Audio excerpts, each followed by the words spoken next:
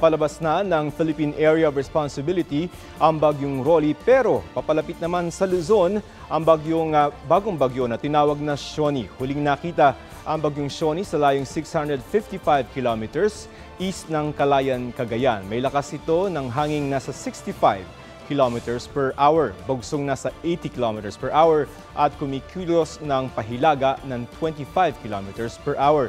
Sa track po ng pag-asa, halos hindi gagalaw ang bagyo hanggang sa Miyerkules. Pero sa Webes, posible itong lumapit sa Northern Luzon. At kung hindi magbabago ang track nito, may chance itong tumawid sa Northern Luzon sa Biyernes.